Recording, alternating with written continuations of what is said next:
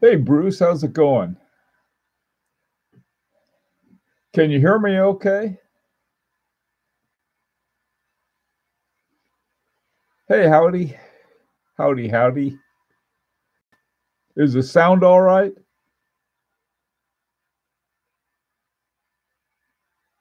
Great.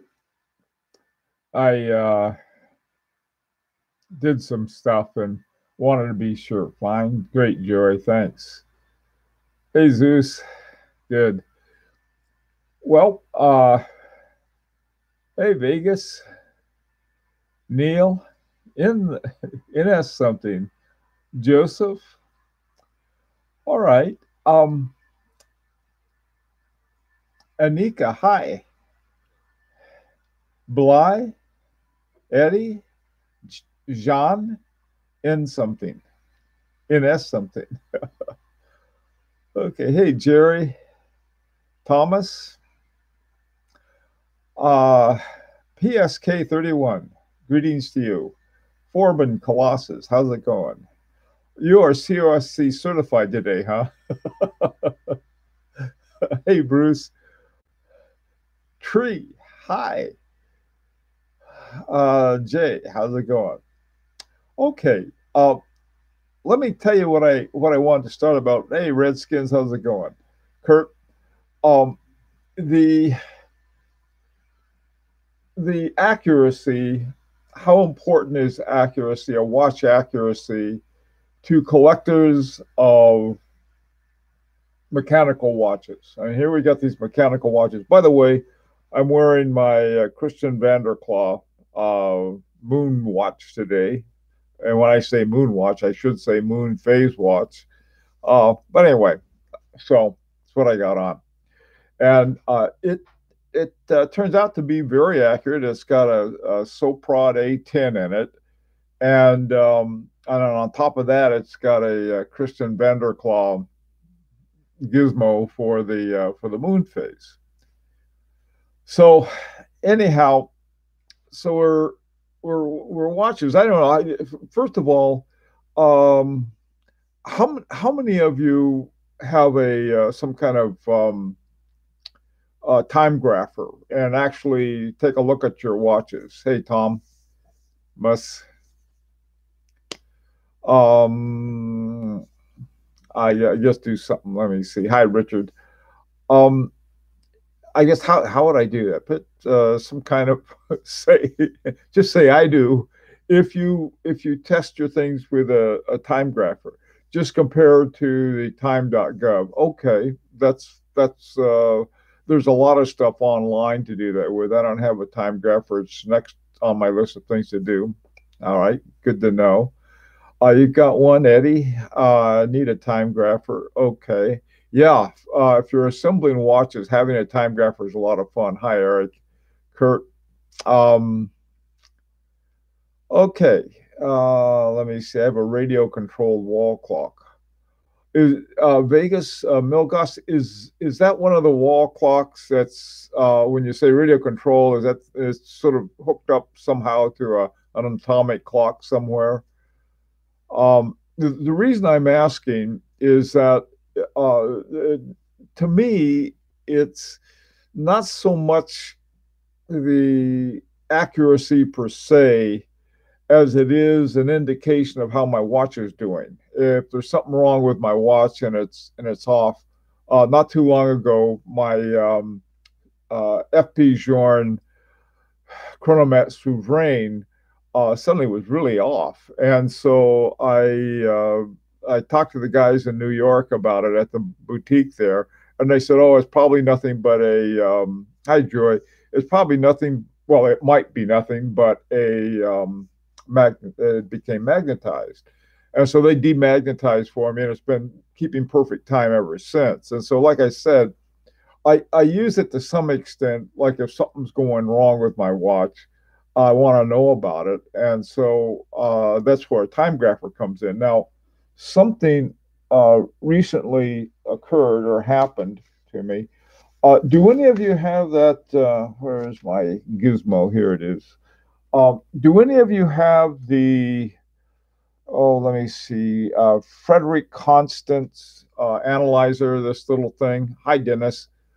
Uh, do any of you have any of these? Because this one, I this was so easy. All I had to do was to plug it in. Kurt, you've got one.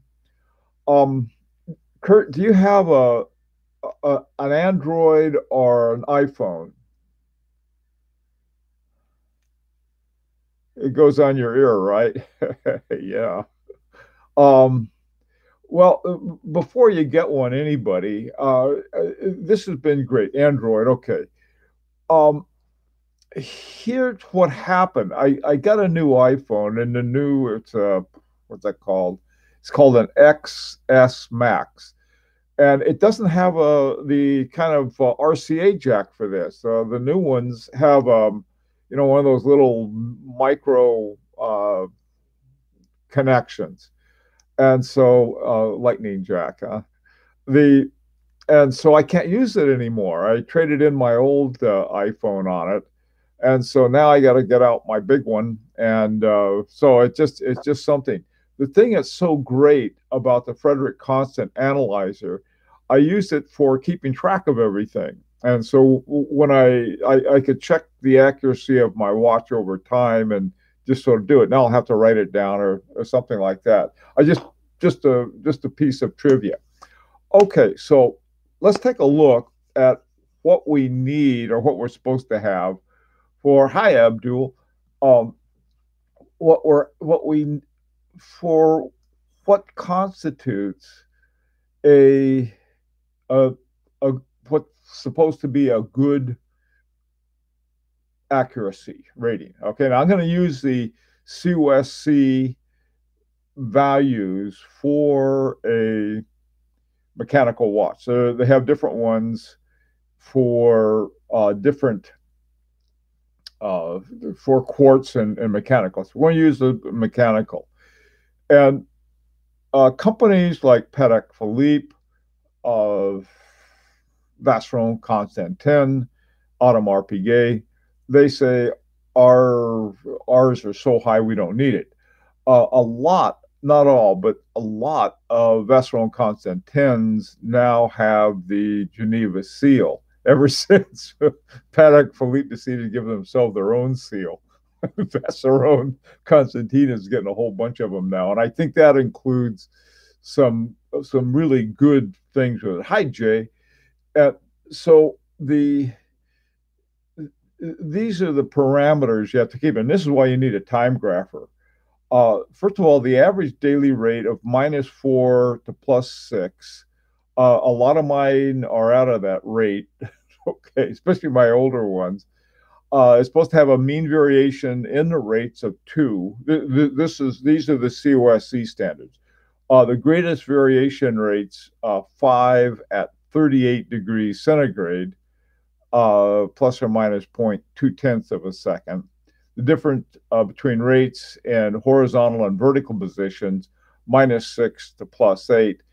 Largest variation in rates, 10. Thermal variations, plus or minus 0.6. And rate resumption is plus and minus five. So it, it's, um, um, see, Eddie, uh, the so the the whole thing uh, is is what you need. Uh, how do you, um, I, I I don't anymore. I can't connect this. I'm gonna see if I can get a hold of analyzer or have some friend uh, uh, see if he can fix it for you. Uh, they'll find somebody who knows how to do that. Uh, but right now I can't use it, so I I use my uh, Weishi uh, time grapher those things only are about a hundred bucks or something like that, and they're they're not the kind of high grade ones you get for uh, if you're a professional watchmaker, uh, but they're good. It's funny. One of my watchmakers, my main guy, I think he's. Uh, I, I was telling um, Art that he, the guy's like the the uh, pinball player in uh, that old uh, in the old Tommy song about the deaf dumb blind kid and his uh, plays a mean pinball and he does it by uh, touch and feel and sense. That's what my I've got this guy who's really great.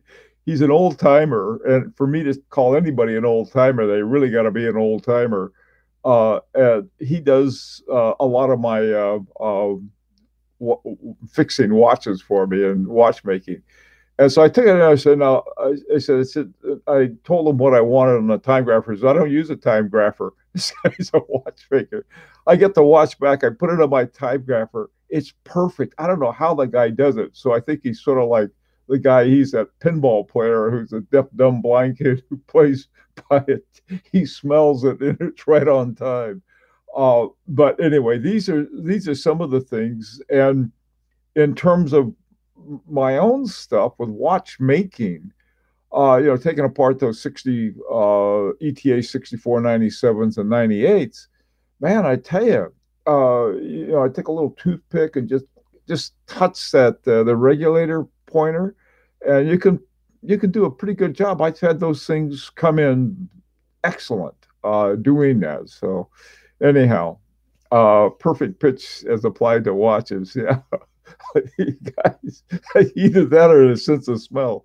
Smells just right for my guy. His he has very reasonable rates, and, and, and some of my watches are are fairly reasonable. I I can't take my really good watches to the guy. I mean, he's a he's a great guy, but he he sort of like a um, has a pretty narrow uh, thing that he works on. But he boy is he good.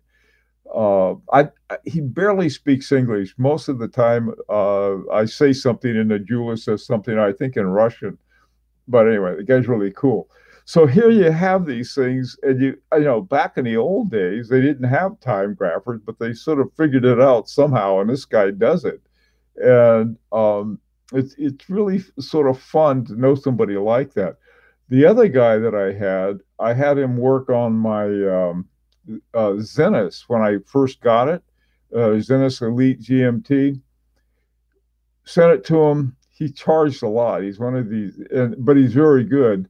And I right before I retired, so he did the thing. He said, "Oh, it's perfect." He said, "You know, you got you got a great watch." And so I thought something else was wrong with it. So I sent it back to him. He said, "There's nothing wrong with his watch." It turned out there was something wrong with me because I was looking at the wrong thing for the GMT on it. But uh, these these are things I think there's there's a certain point where you know there's one watch I have that runs slow and I keep thinking well I'm going to put it on a on my uh, I I went out and bought a um, demagnifier and I thought well I'll put it on the demagnifier and see if that helps but then on the other hand I'm gee, I don't know if I want to hear that. Hey, Adam, how's it going? So uh, there's a, a, a kind of thing with, yeah, I like accuracy.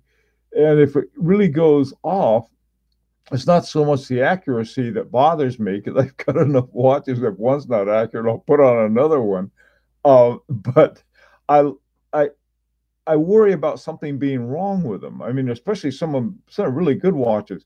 I don't know what I'm going to do when it comes time for the uh, H Moser because that thing has a uh, they quit making them in any amount because of the complexity of the uh, double hairspring and how that keeps the balance wheel right in the middle of where it's supposed to be because they have the oops uh, hit my microphone the um, anyhow uh, that's something else Okay, let's see. What do you got? Okay, you have a couple of SKXs, and accuracy is pretty bad. So the, so is the power reserve. They're just beaters. So yeah, um, I'm a movement snob. I like accuracy.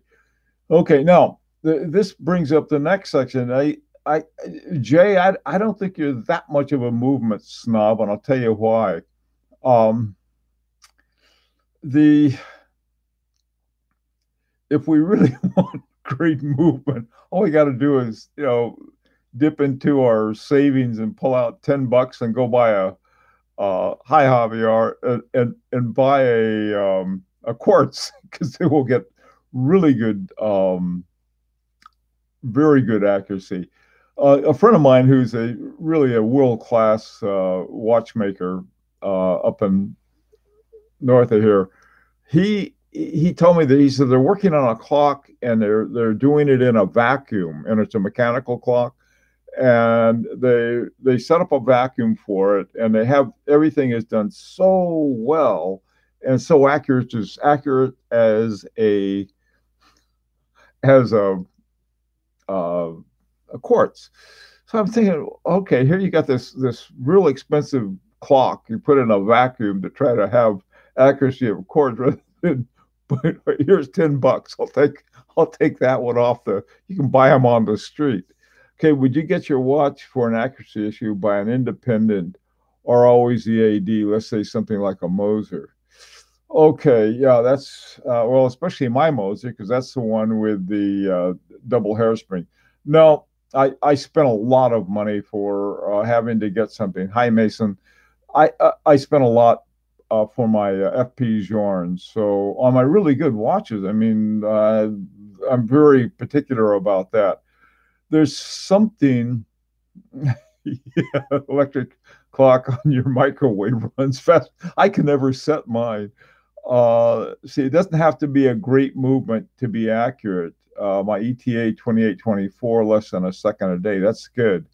Yeah, that that's true. I, also, too, like if, my own modest uh, and, and, and that's no that's not false modesty but modest watchmaking skills i can get those things ticked into almost nothing they're great i mean and this is with a an eta movement so neil doesn't surprise me that your 2824 slash 2 is less than a second by the way most of the slash 2s i think by eta they pumped them up to uh, if they weren't, they they put them up to four hertz. The older ones at three hertz I like because it's got to do a lot more. Okay, uh, so what else is uh, what else about uh, variation? Uh, one of the things I don't I get sometimes uh, variation at, different what you call them attitudes. If they're face up, face down, face side, to the left, to the right uh, all of the different positions you're supposed to put them in. And usually I don't find a whole lot. Uh, it was really funny. The other day I was working on a watch, getting uh, checking the accuracy of it.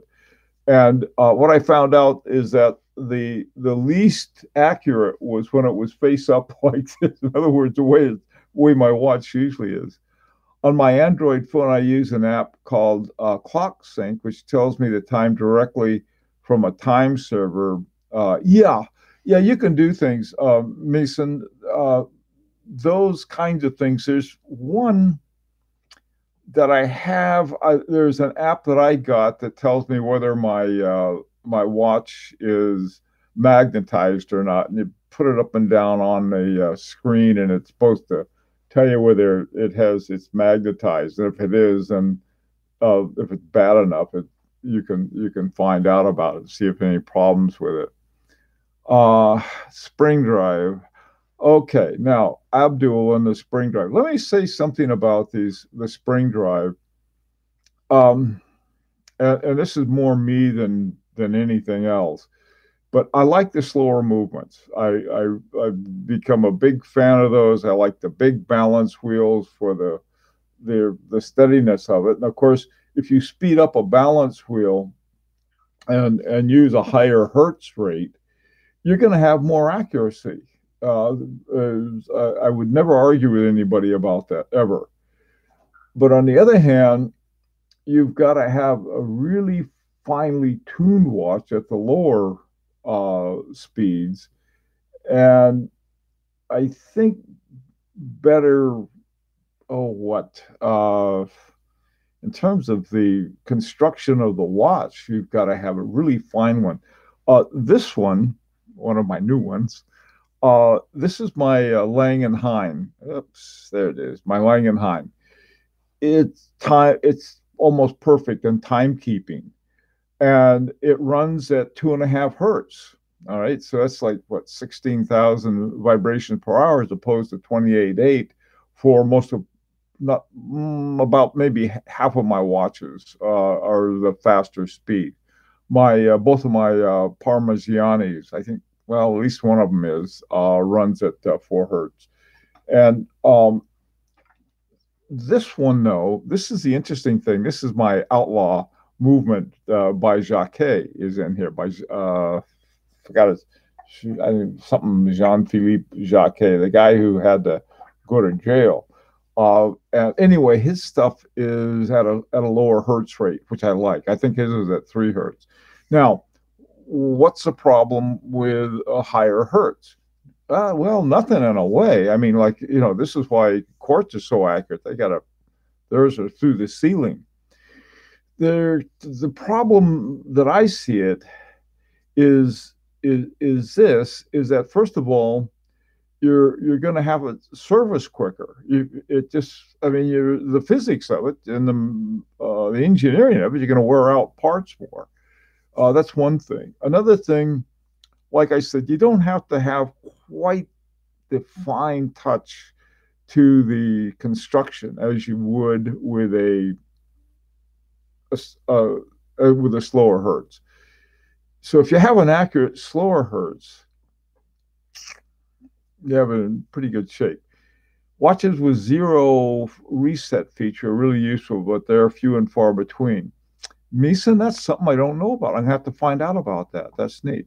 Tom uh, Thomas Burnett, yes, uh, those Langenheims are amazing. So if anybody's interested in getting one, they are great. I, that I can tell you. They're just they're great. Uh, Kent right now, um, they're really great. You know, I tell you something. Uh, Lang, uh, A Lange has an amazing limited edition zero reset. Okay. Uh, Emerald Chronometer by Emerald Sequoia LLC. Okay, they have one. I really don't like non hacking. Uh, okay, howdy. The problem with hacking, all right? Now there's there's different kinds of hacking. The I really don't like hacking that basically you, you got your balance wheel and then you can see these things they come down on the balance wheel like a brake for hacking. That's one kind of hacking. There's another kind of hacking that stops the the movement gears so that you're not slamming up against the uh, the balance wheel. Uh, hi, Ant. Um, the the the the point about that is that uh, ah that guy who's the guy who's the head of uh, Patek Philippe.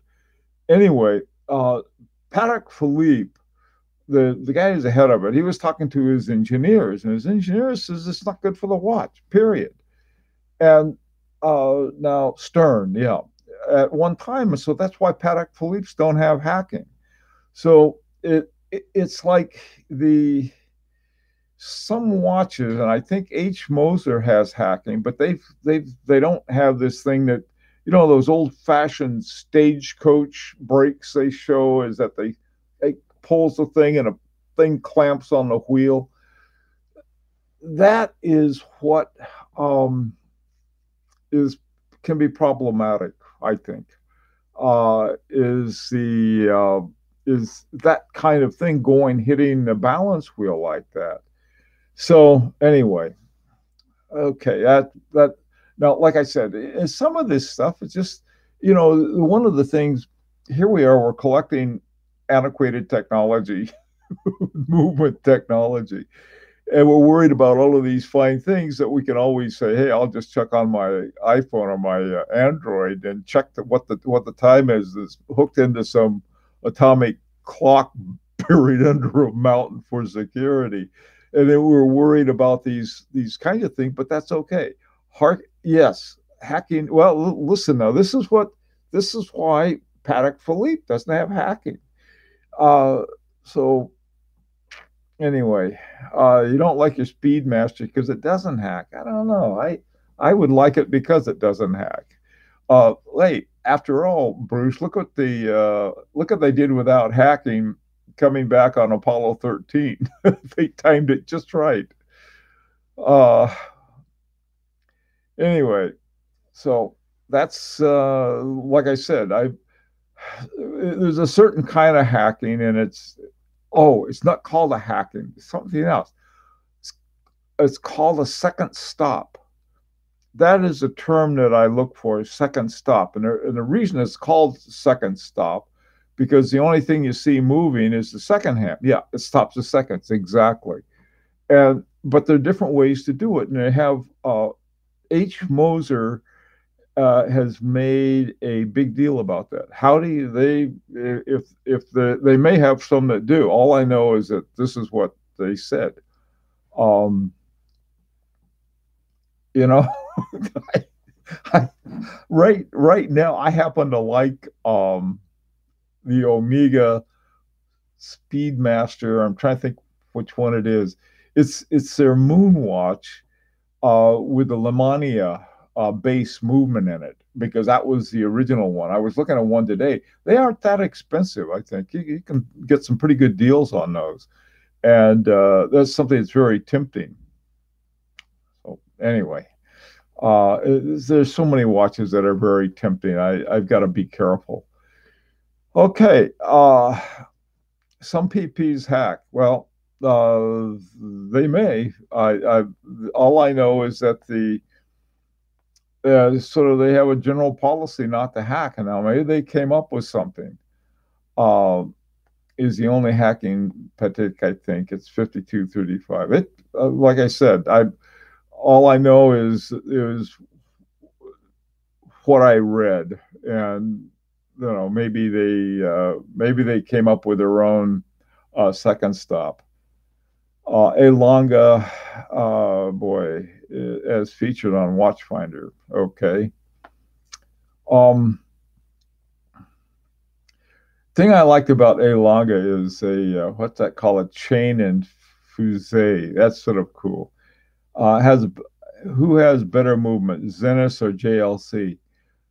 Oh man, um, I don't know. Hi, Michael. I, you know, I, you know, you guys can. I, how can how, how can we resolve anything like who has who has better movements, Zenith or JLC?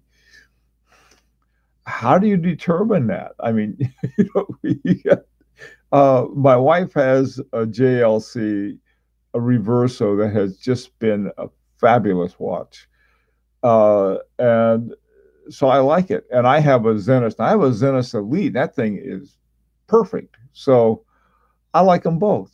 And how do you say maybe one model is better than another model? Uh, the El Primero gets all kinds of press, but I like the Elite. In fact, what I would really like in Zenith, I think, is, and what I do like in JLCs are the hand wound ones.